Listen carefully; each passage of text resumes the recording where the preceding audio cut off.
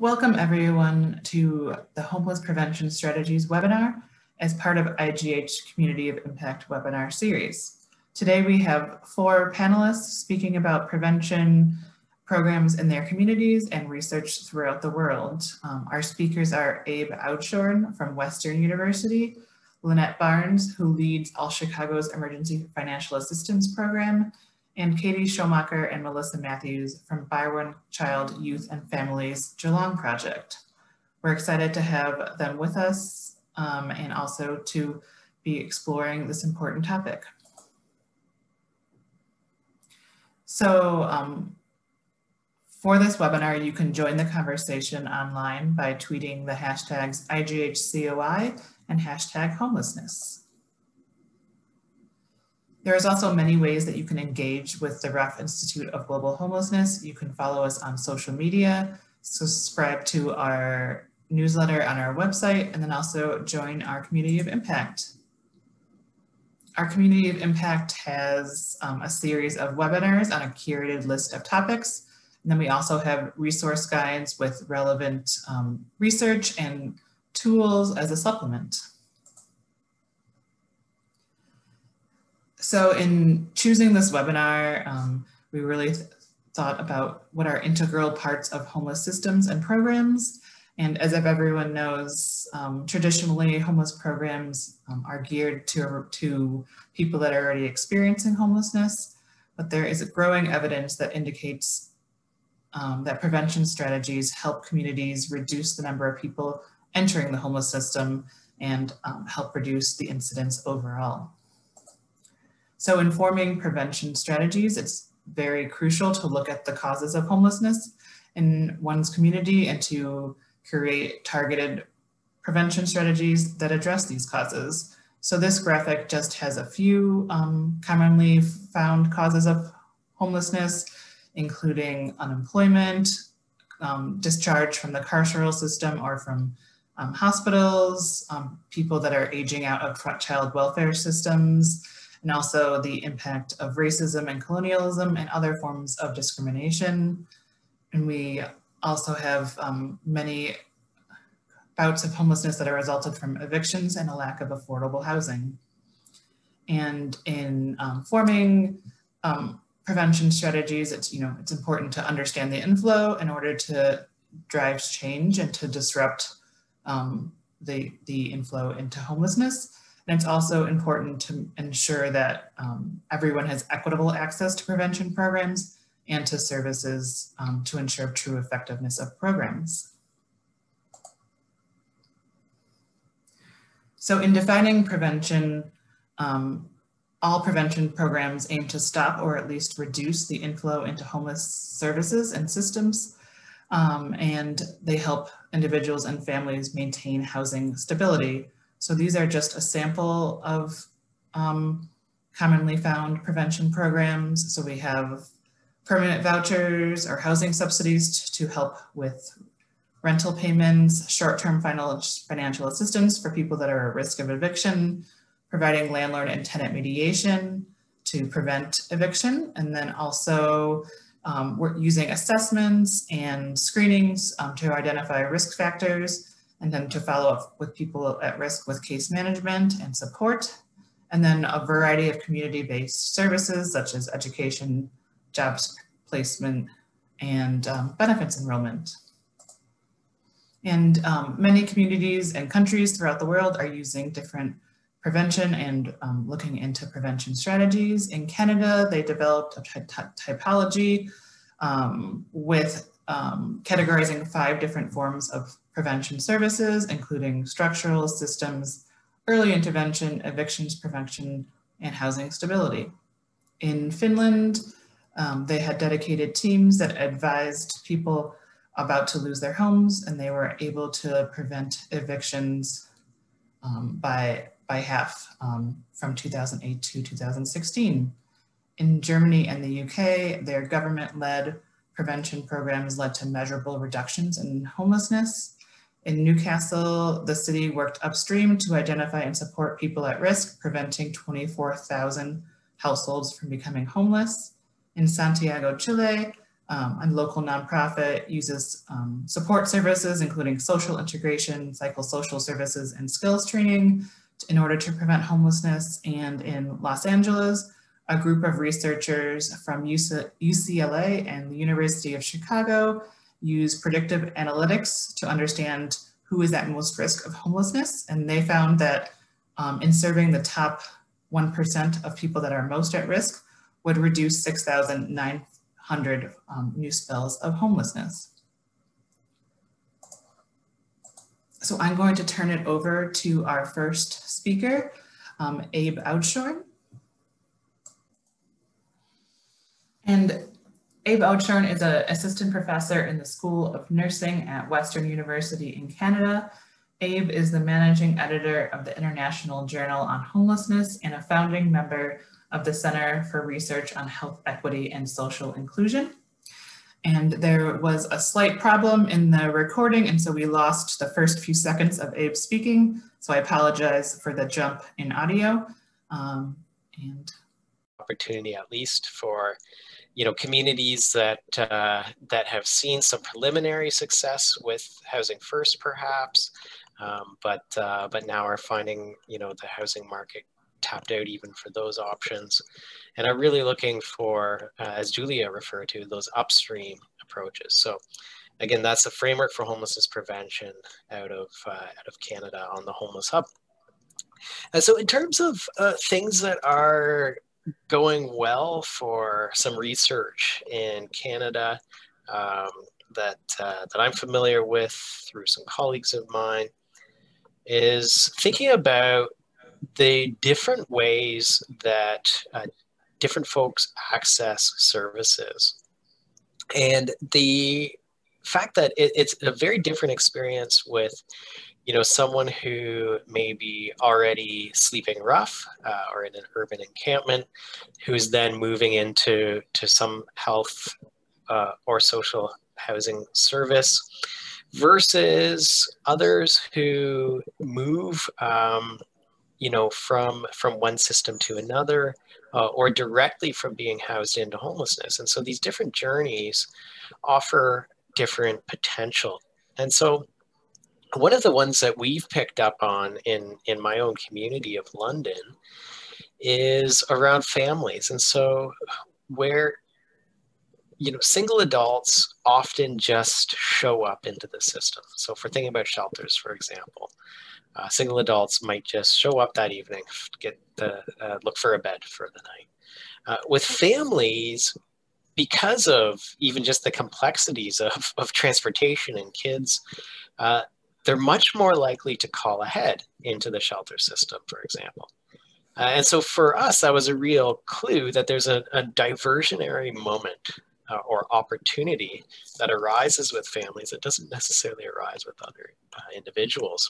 And so all of our family shelters have started uh, integrating into, you know, their normal call uh, workers who, instead of just saying, you know, is there is there room tonight or not, uh, are have been trained up on diversion, and so they're able to have the conversation with folks about where they're staying now, and are they able to help them to uh, maintain a state a safe housing.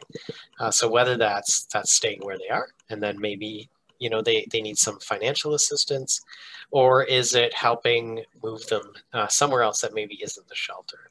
Um, so that's one example another example and, and julia mentioned there's there's many systems that actually unfortunately feed into homelessness and so another example we've been uh, looking at in, in our community is discharge to no fixed address from hospital. And where we were finding that happening most often was in long-term mental health inpatient. And so, again, there's a real opportunity there because of the length of stay involved. Um, you know, discharge from a medicine unit to no fixed address, that can be very hard because stays in medicine might be very short. Uh, but in our inpatient mental health, folks were having, you know, multi-week, multi-month, and even some of them multi, unfortunately, year stays and so in, in that context, there's a lot more opportunity to do house uh, uh, planning. And, and so we've actually been able to tap into uh, the tools developed around housing first, around uh, what it means to be paper ready uh, to, to get into housing, and build those same processes into inpatient mental health care so that folks are doing things like getting their identification sorted out while they're still in hospital, uh, seeking references for housing, uh, ensuring that there's going to be income upon exit, um, and, all those elements of, of paper readiness for housing. Um, so that, that, that exit from hospital uh, is in to to home. So those are a couple couple promising practices. So again, I would invite you to think about in your community um, the very particular different pathways that different populations have, uh, because we you know we can throw up our hands and say you know if if we think about the experience is all the same, it's like oh well well how how do we divert people? People just show up at shelter, but that might not be everyone that has that uh, exact way that they show up into services. So think about the particularities of your populations and how you might find diversionary moments in that. Uh, another one that I wanted to, to briefly touch on it, and, and really I don't want to take Lynette's thunder on this because I know she's the, the, the expert on this work, but in terms of, of financial supports, uh, what I did just want to mention is, is to put this into to scale really. And uh, unfortunately, we still sometimes encounter that barrier where governments say that uh, rent banks are not a precise approach. And what they mean by that is if you take the spectrum of folks who are in a financial crisis around their rent, the majority will actually solve that situation on their own, right? And so giving money from a rent bank might be imprecise because we might be actually giving money to someone who would otherwise figure that situation out on their own. Uh, and that's unfortunate because, you know, it becomes an argument against helping those who, who wouldn't have been able to, to figure that out. So, so how do I speak to our folks, uh, and our decision makers in my community about um, uh, rent supports? It, it's around the cost and to me, this is where where the argument is so clear. Even if we are giving, ending up giving support to folks who in the end wouldn't have needed it, the difference between a rent support and what it costs to build a new housing unit is just so astronomically different. For us in uh, the Canadian context, we're looking at $135,000 per unit to build mid to high density new affordable housing. So if you take any single individual or family group and you say, what's it going to cost to keep people where they are versus if we have to provide a new housing option for them. And so even if we use rent supports in a very broad way, uh, and we're looking at arrears of 200 500 700 dollars maybe some damages some utility arrears uh, it still gets you nowhere close to the cost of what it builds uh, what it takes to build new affordable housing options uh, and so that's the argument uh, that we take is you're always best spending money to keep people in the housing that they're in as long as that housing of course is safe sufficient adequate uh, and, and decent. So the finally thing that the final thing that I, I really wanted to, to point to um, is in the typology that I mentioned, the Canadian typology, uh, there's one concept that I've actually added uh, recently to that in a, in a paper.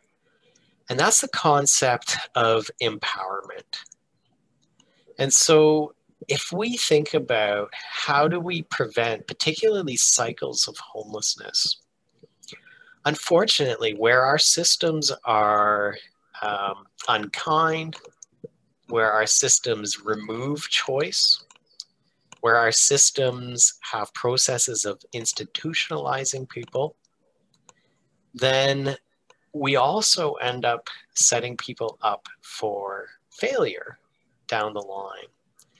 Uh, and so that's why when I think about prevention, I think it's vital that we think about our systems as always creating a context for people to empower themselves. Uh, because that uh, core will help prevent future crises uh, and it will ensure uh, that people are uh, respected, are achieving dignity, um, and are able to manage future challenges in their lives.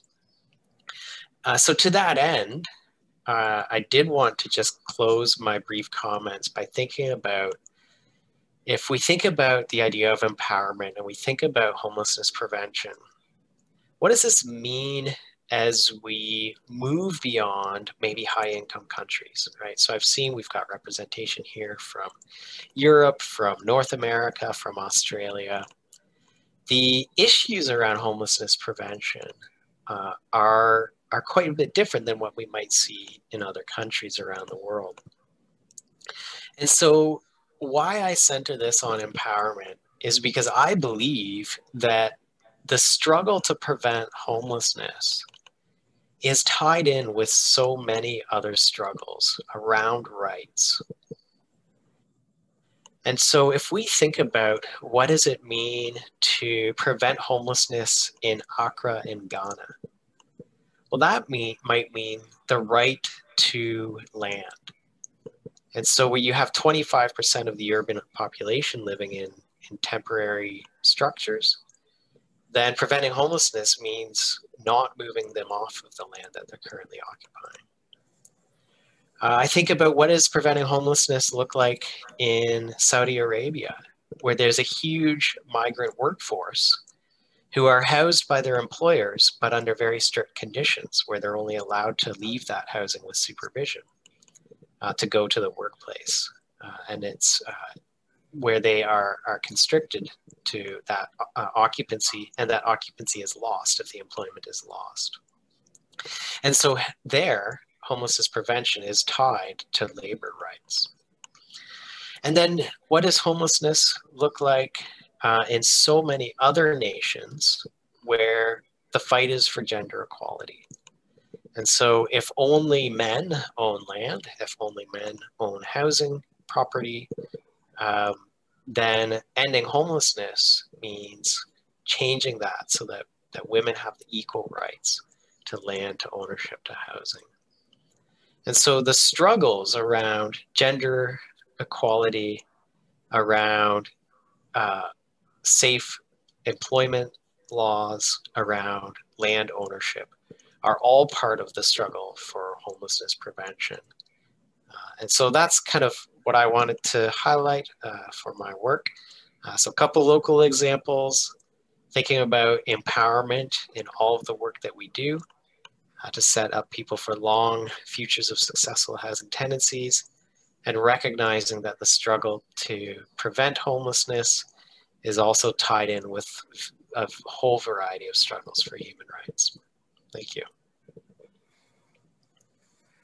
Thanks, Abe, um, so much for your comments. And, you know, I think it's so critical to understand, you know, the, the reasons for, for homelessness in the individual countries and to really um, have individual have, have approaches that meet that, which is including addressing um, discrimination, and, and land rights issues. And th those were great things to um, think about and kind of learn more about. And we'll, I think we uh, included the, the your new research in, in, the comments and I encourage everyone to go read it. I read it yesterday.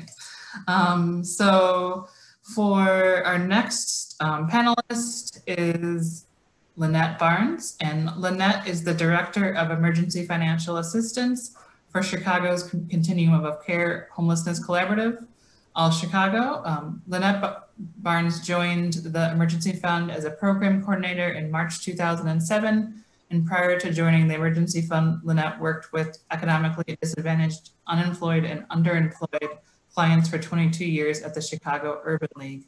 In addition, Lynette served as a partner agency liaison for the Emergency Fund for five years. Lynette holds a Bachelor of Science degree in Business Administration from Chicago State University. Thanks um, so much for joining us, Lynette. Oh, thank you so much um, for having me. You make me sound so important there. Thank you. I really appreciate it. Um, Abe gave me so much to think about. I was just in, in, in, engrossed in what he was saying and how uh, to the point that is with uh, prevention and um, thinking about, you know, empowerment and, and education when it comes to um, prevention and seeing how this has changed over the years and where we want to go in the future to try to, as much as possible, eliminate um, or at least get an understanding of how prevention and how homelessness has uh, escalated over the years. I um, was speaking before the webinar talking about doing a little research on how the state homeless prevention program uh, began in Illinois. And um,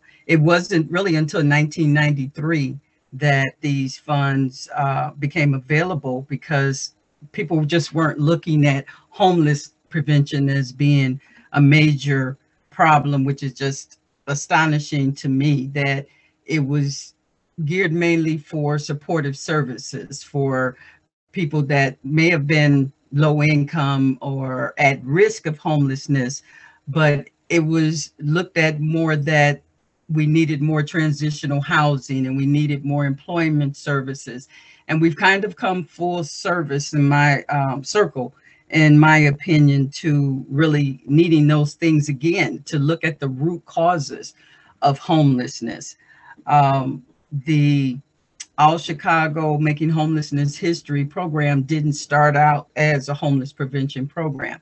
It started out um, in 1973. Norman H. Stone, the founder, was a businessman and uh, he discovered that many people that actually worked for him were working poor, that they were uh, one paycheck away from being homeless. And so he joined forces with some of his business uh, partners to create an emergency fund to help people with things like emergency food. He saw no need for people to have to stand in long lines to get basic necessities or fill out 20 page applications um, to do that. And, and that is kind of the uh, cornerstone of all Chicago. And so it wasn't until um, 2015 when we merged with the Chicago Alliance to End Homelessness that was doing great advocacy work and uh, working with bringing in um, more federal dollars through the continuum of care created by uh, HUD. And we joined forces with them to create All Chicago Making uh, Homelessness History. But we always kept the cornerstone of the emergency fund, which is geared to small uh, amounts of assistance to prevent larger crises from happening. And I think that is very important in, in homelessness prevention because if someone finds a job and doesn't have transportation assistance to get to that job until they earn their first paycheck, where do they go?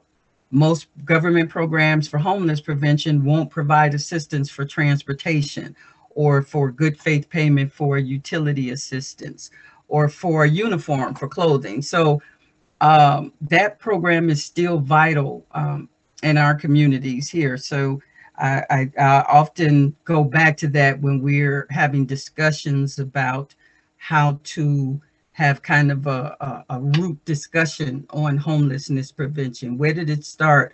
How did we get here? How did we get back to basic fundamentals of uh, preventing homelessness?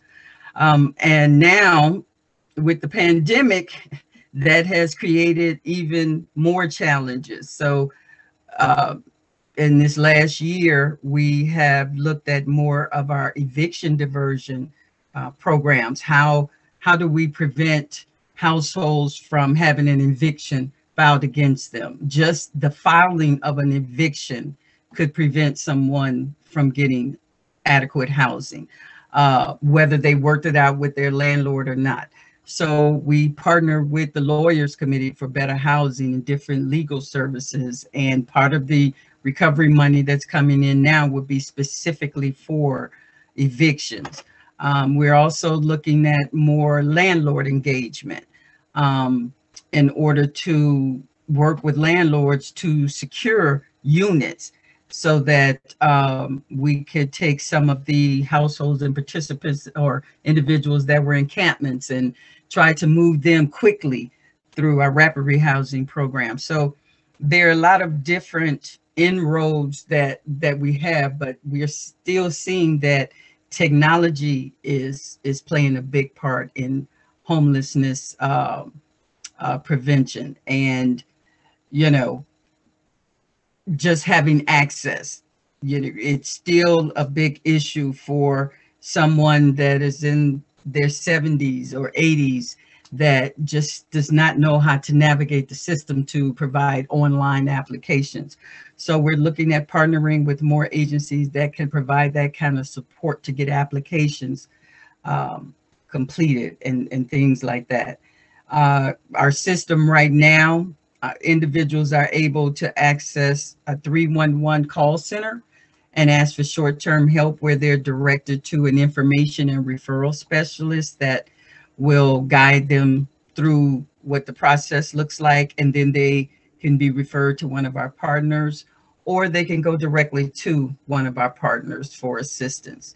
Um, and then All Chicago is responsible for reviewing the application to make certain that all documentation is provided and that they are able to um, complete the application and receive payment directly to their landlord, vendors, real, real estate people, what have you. Um, so I did want to leave the majority of my time, hopefully, for question and, and, and answers. It's so much rich history, so many things that were going on, but um, I did want to just let everyone know that uh, last year for 2020, we were able to uh, serve over uh, 3,000 households and distribute close to $8 million. And this was not part of some of the special funds that came through because of COVID-19. Uh, we're still working on some of those those programs, but I'd be happy to um, answer any questions that I can about our process or, you know, what we what we do to try to end homelessness here in Chicago. Thanks so much, Lynette. And I think, um, as you said, the, the, the, emergency fund and the programs you support have had such an enormous impact, um, which is, you know, especially important right now during COVID, but, you know, now is important to address housing um, stability and really address the root causes of homelessness and provide that support. Um, we're going to be answering questions after um, our next panelist, so I encourage everyone to, um, to put their questions in the Q&A or in the chat, whatever is easiest, and then we'll make sure to um, ask those questions um, and right after our next panelist. Um, so, so I'm going to introduce our final kind of prevention work. So the um, our panelists for the Geelong project in Australia are going to be joining us to answer questions, but um, to better explain their work and the work um, in addressing youth homelessness, I'm going to be sharing um, a video about the Geelong project. So um, it works to prevent youth homelessness um, by working in schools and assessing youth for the risk of homelessness and providing early interventions um, through monitoring and case management. Um, through their um, interim report that was um, sent out in 2018, they found that the project had a 40% reduction in youth homelessness and a 20% reduction in dropouts. And um, feel free to put your questions about the project in the chat um, while I show this short video.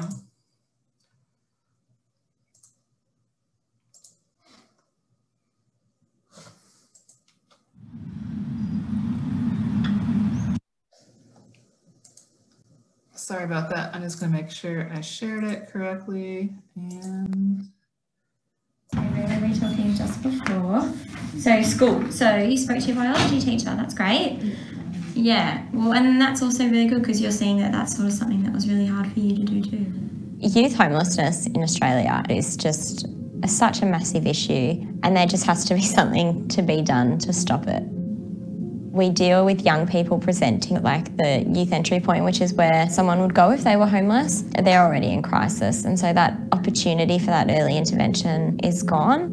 We're trying to stop that homelessness or that family breakdown, so we're getting in as early as we can. Accessing young people in the biggest setting within a community has got to be a school. I'm an early intervention response worker for the Geelong project, working with young people who are at secondary school but are at risk of disengaging from school or at risk of homelessness or sort of showing signs of mental health impacting their school engagement, family life, that kind of thing. There's a whole lot of youth services in the region that were really crisis driven. Before the Geelong project, there was no significant early intervention programs. A common, I guess, misconception of what homelessness is is rough sleeping, so people sleeping outside, which obviously is the real pointy end of homelessness. What we've seen is homelessness also includes young people who couch surf, which means that they go from either one family's house or a friend's house to another friend's house to another friend's house for maybe short periods of time. And that's where a lot of young people go to if they don't live at home. We work mostly with the underlying issues. Some of the things that I see pretty regularly is family violence or family conflict, depression and anxiety, financial hardship. Housing crisis. Particularly in Geelong, housing hasn't increased over the last 20 years. We've stayed with the same amount of housing options as what we had 20 years ago. There's been a huge population growth with lots of people coming down from Melbourne and lots of new estates and housing being built. The gentrification, that's sort of what's going on in Geelong at the moment. I believe it became a crisis when it became more public. The Geelong newspaper and the media portrayed a couple of families living in cars and questioning in today's modern world, is that a way for a family to live? And the price of housing going higher and the accessibility to public housing becoming more complex rather than waiting for it to get to the stage where the stories were for how many do you have in your neighbourhood. It actually became, isn't one too many? I'm the principal at uh, Northern Bay College's Goldsworthy campus, which focuses on year 9 to 12. The community here is one that uh, is probably typified if you take government speak at being low socioeconomic. For some, they were involved with industry that's closed in Geelong. Families fell out of work. Some have been out of work for more than a generation. We also have a large number of Australian First Peoples that live in the neighbourhood and their needs and the way we approach that was also to be considered for their cultural safety and awareness.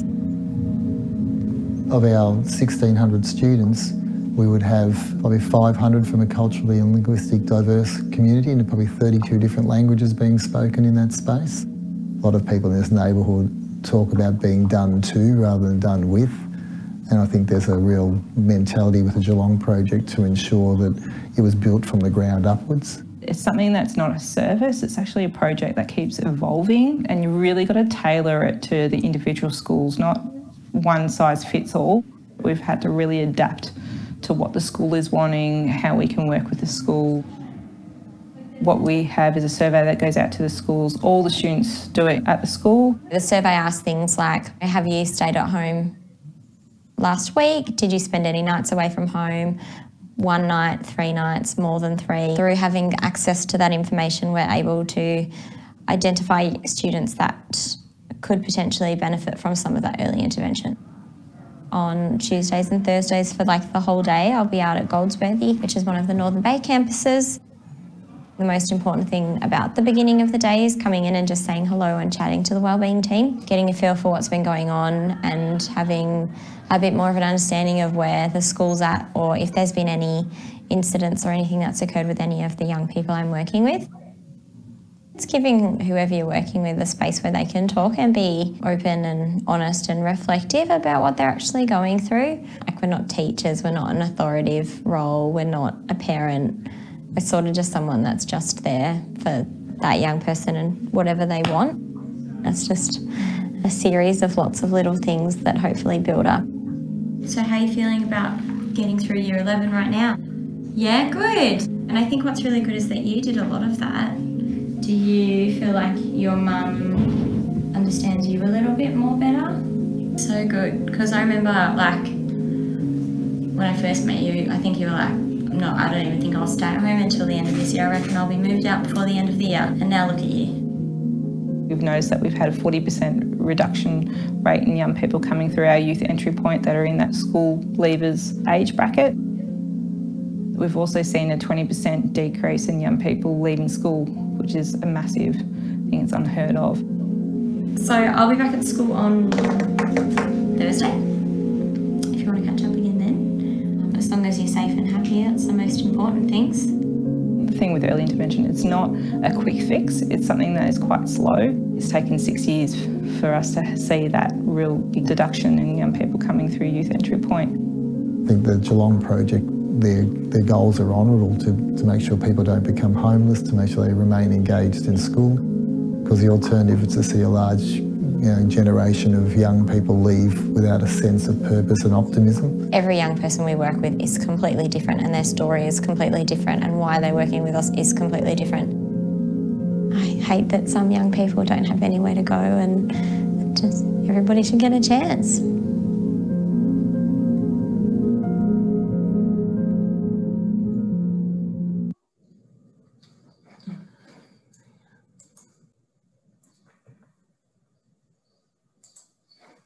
So I'm going to um, turn it over to IGH's executive director, Lydia.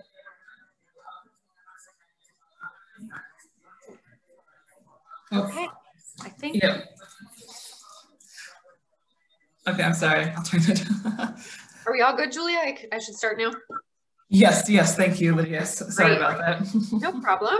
Um, hi, everyone. I'm Lydia Stazen, and I'm the executive director of the Rough Institute of Global Homelessness. And it's my privilege to be able to facilitate the question and answer um, portion of this um, conversation. So I'm going to ask all of our panelists to come off their um, come on, put their videos on. I think that will help us uh, have a have a better conversation. Um, and so you all have some leading experts on homelessness prevention here on the webinar for, for you all to learn from. So um, I'm hoping that the chat function and the question and answer function start to explode with, with questions. Um, so we heard three really different approaches to homelessness prevention through the webinar today. First, we heard from Abe about the research that he's led in Canada and um, you know, the importance of really looking at your own countries or communities context to understand why people are becoming homeless and to tailor your homelessness prevention strategies to your community. I think that's a really important point that we don't want to lose.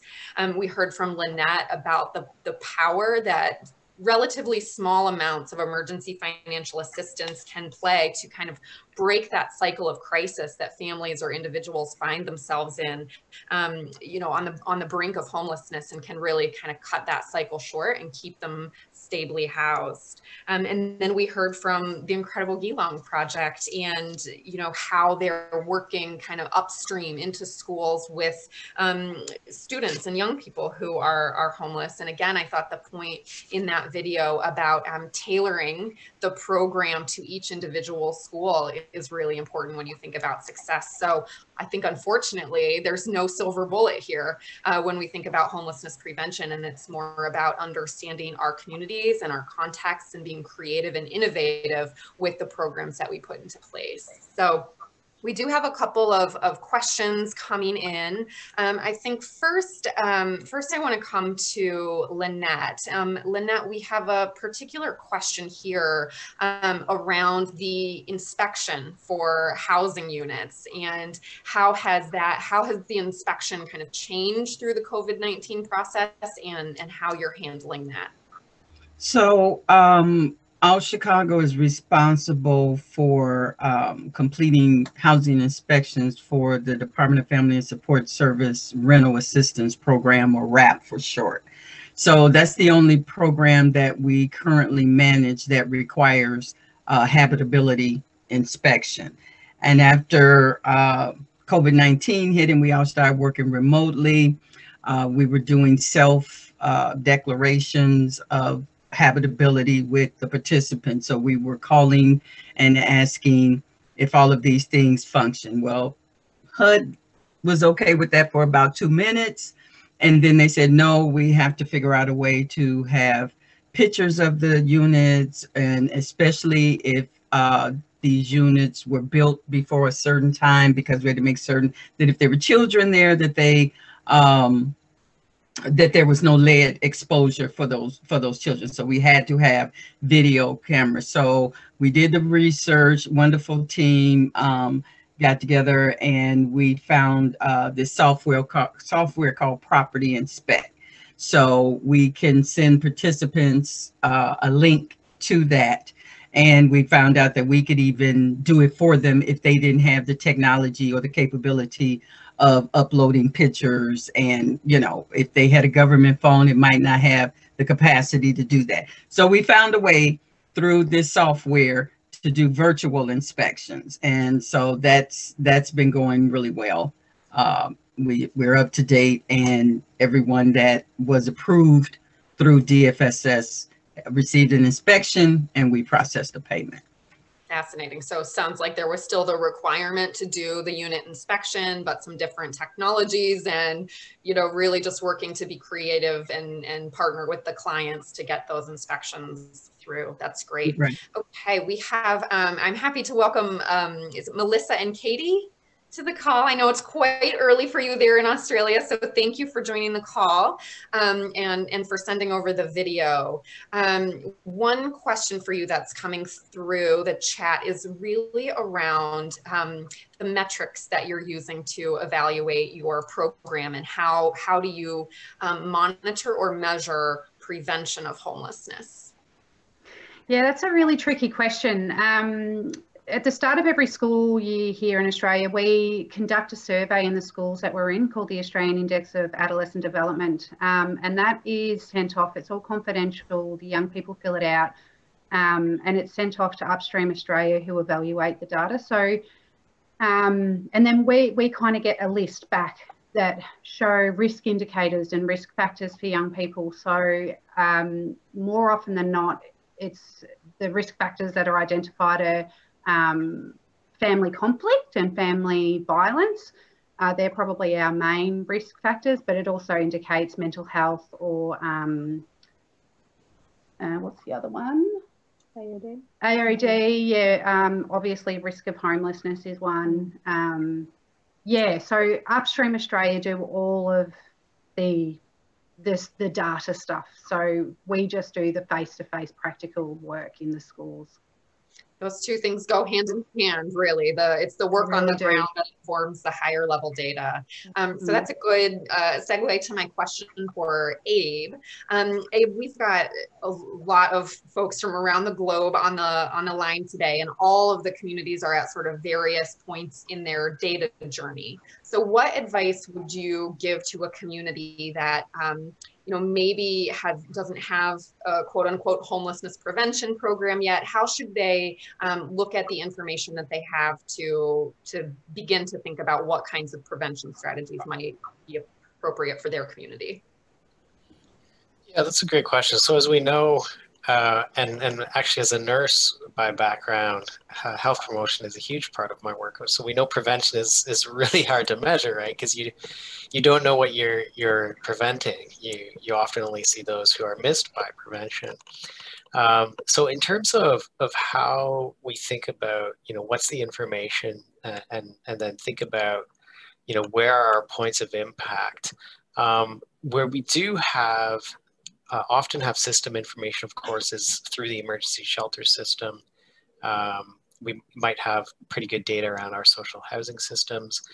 Um, but communities also more and more are getting uh, very good at creating data around things like rough sleeping. And so, you know, in, in communities across Canada, in creating by name lists to address uh, um, kind of to make sure the right folks are getting housing first uh, as quickly as possible.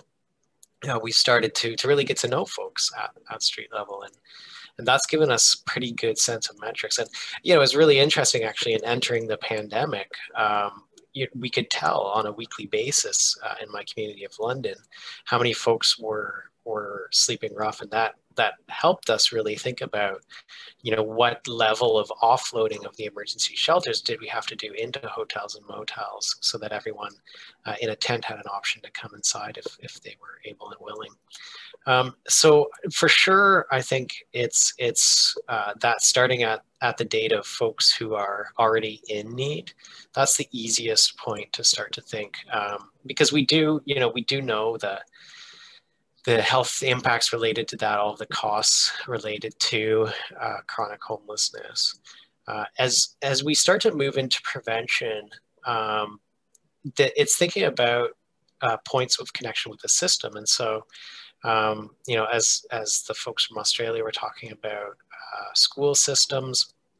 Uh, I know I was I was uh, in New York and I, I saw a huge focus on schools as homelessness prevention systems in, in New York City. Um, and so that's where you can start to look at your metrics around, um, you know, families in crisis, families in need, and start to connect that kind of deep poverty, family crisis uh, with potential homelessness prevention. It's never going to be perfect uh, in terms of measuring prevention. Again, you never know exactly uh, what you've achieved, but um, you know it's it's when we start to tie our systems together. So we start to I, I give the example of the healthcare system. Um, and so if we know what's happening in the healthcare system, if we know who's actually achieving uh, uh, a housing occupancy because of an intervention at the health system, then we can start to tie that to what's happening in our, our homeless system. So it's, it's when the systems are disconnected too that we have the most trouble, um, you know, being able to kind of measure what we're doing. Yeah, great, great points, Abe. I think we at IGH, we talk a lot about how homelessness is a failure of multiple systems. And I think this is why prevention sometimes feels like such a heavy lift because we have to be working up and out of our own sector to really identify and understand how, how people are ending up at risk of or experiencing homelessness. Um, so that's tough.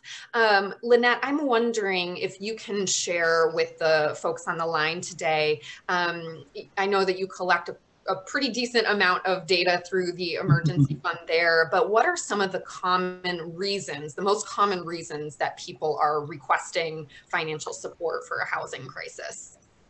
Well, right now it's uh, job loss. That that is the the main reason. I mean, it's it's over 70% uh, of the reason that, you know, and, you know, quite frankly, it's, it's because of COVID-19.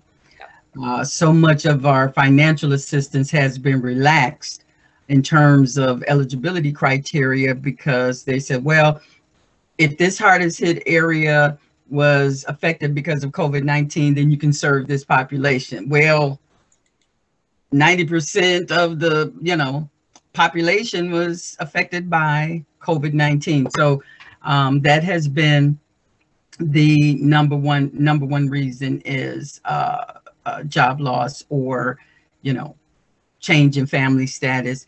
And with this COVID, we we've lost so many people that it's changed the dynamics of the household. Um, where there may have been two or three people bringing in income, it may not have, it may have just been enough to cover all of their needs.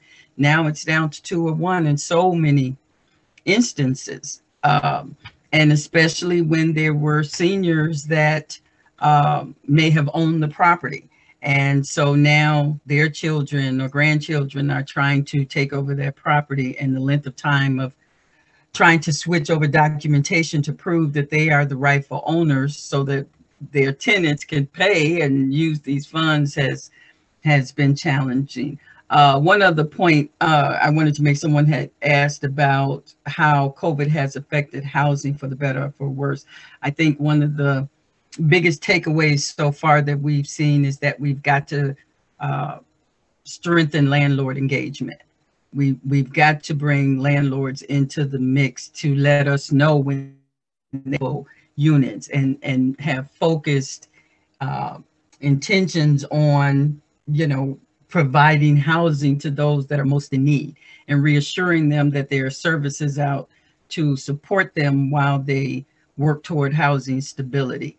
We uh, launched the uh, Expedited Housing Initiative uh, during COVID-19 to concentrate on shelters and matching those people that were literally homeless with affordable affordable housing. So that has, uh, we have a goal of you know, 2,000 units before the end of the year. So we we we are hoping that that is uh, continued to be successful. So I just want to throw that in there.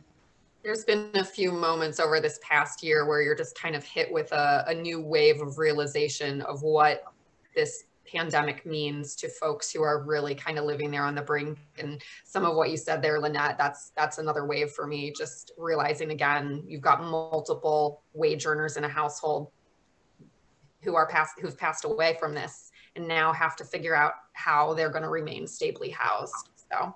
Yeah. Um, just want to recognize that that sort of moment um, so so many more countries or questions coming in here. Let's let's keep them rolling. Um, Lynette, another question for you around um, how how does emergency financial assistance possibly impact benefit entitlement, um, and how have you managed through that?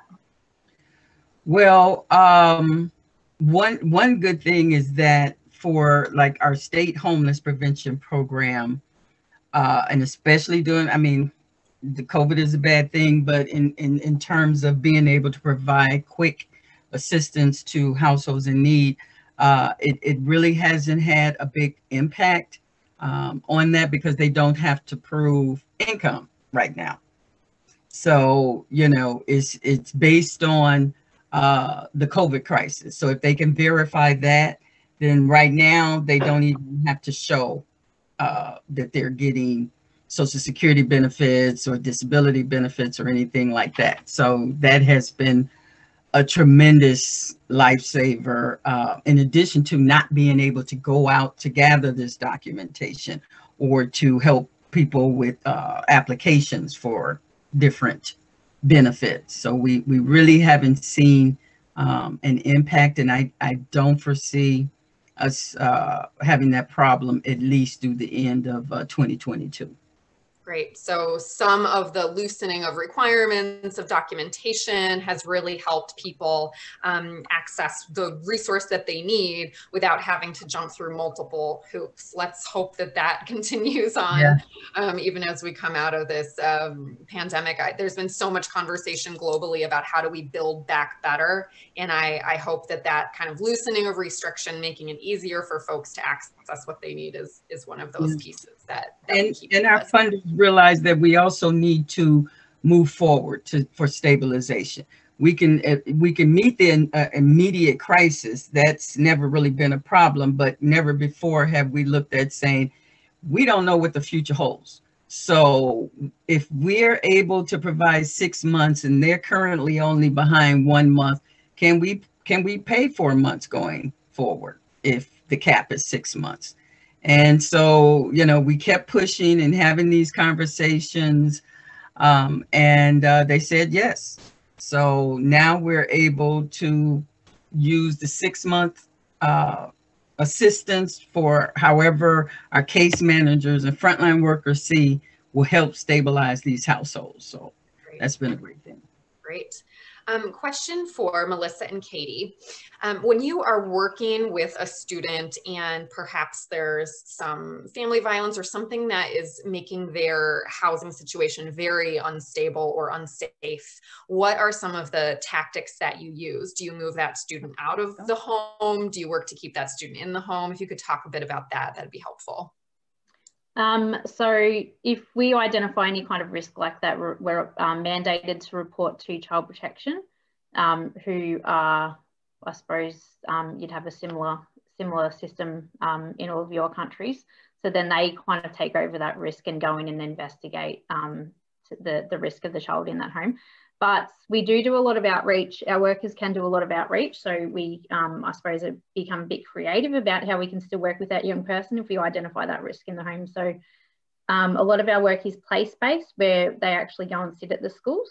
Um, if, you know, a lot of the times our young people's school can be the safest place for them um, where they feel they can um, uh, say what they need to without anyone kind of listening um, and, and speak freely. So um, our workers do um, are allocated a school each and they'll, they'll go to the schools probably twice a week. Um, but we've also got the capacity to even go and pick the young person up from their home or meet them, um, you know, even at McDonald's, um, shout them a frozen Coke kind of thing. So it's really flexible in, in the support that we can, we can offer. So if that risk is identified, um, mandate a report to child protection, but then also working with the young, the young person ongoing and, you know, just obviously not um, uh, work, you know, we probably wouldn't have contact with parents and um, different, would put different um, things in place to help support that young person.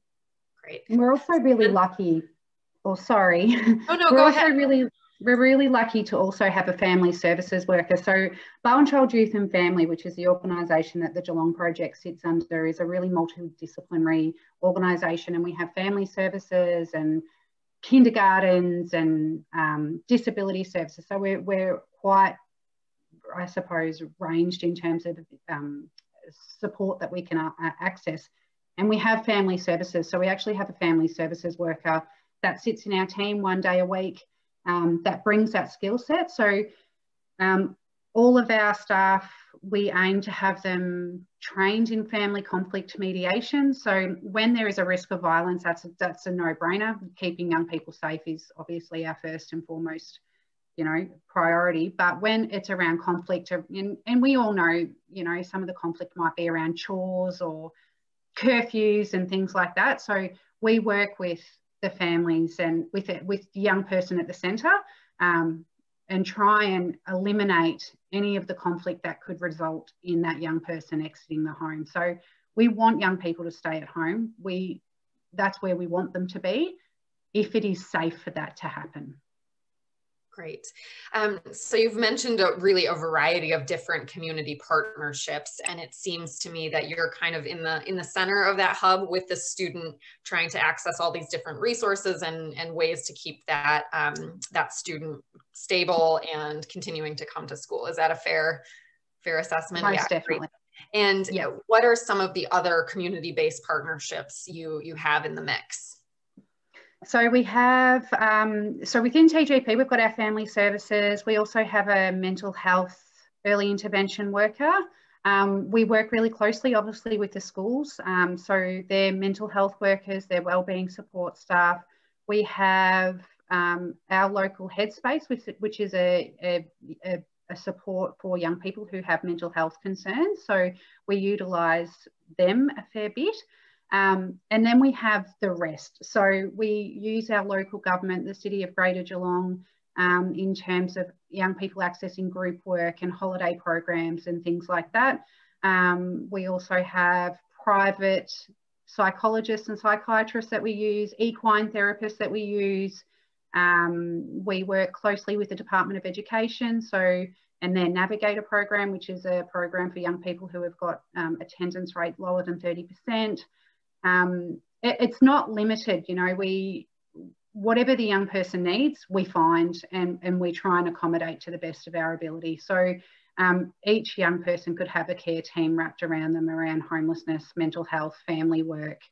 Um, you know, it's yeah, it's I want to say unlimited. There's obviously some limits, but you know, we, we try and accommodate to the best we can. It sounds like you've got a lot in your toolkit that you can use to to give that student the support that they really need. And you know, I think that's true whether you're thinking about um, prevention or whether you're thinking about serving someone who is homeless with complex needs. It's there's there's no one answer. I think this was even in the video. There's no one size fits all approach. It has to be really tailored. And and Abe, that kind of came up um, in your presentation as well at the at the community level. And Abe, I'm wondering if there are any examples from um, your research or your your knowledge of homeless programs in in Canada where you've seen um, uh, an organization that's so well connected that they can provide somebody with really everything that they need to be successful and stable.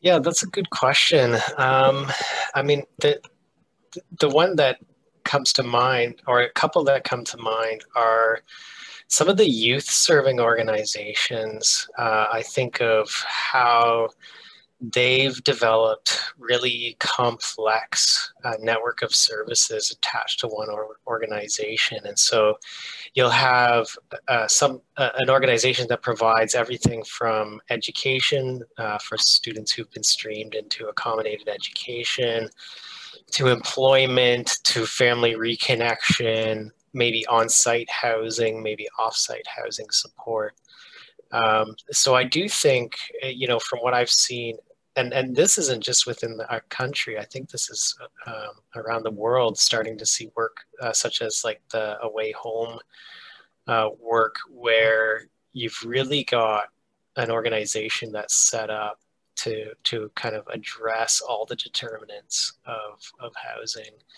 uh, kind of in in one place. Um, I mean, the challenge that often comes with that, though, like in, in communities, mid-sized communities in Canada, for example, is that then the youth organization is often the, the sole player in town.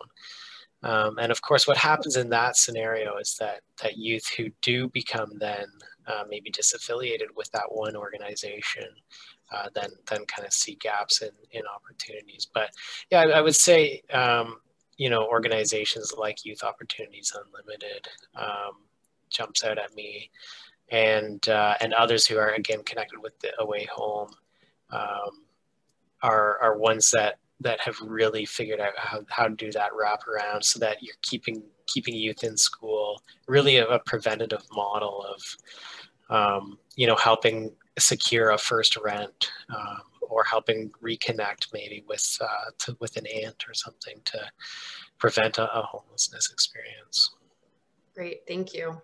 I I think our sector is still kind of moving from an older model where you tried to have a massive NGO that provided all things to all people, and now we're moving towards more, you know, NGOs that maybe focus on a certain population, whether that's um, veterans who are experiencing homelessness or something similar.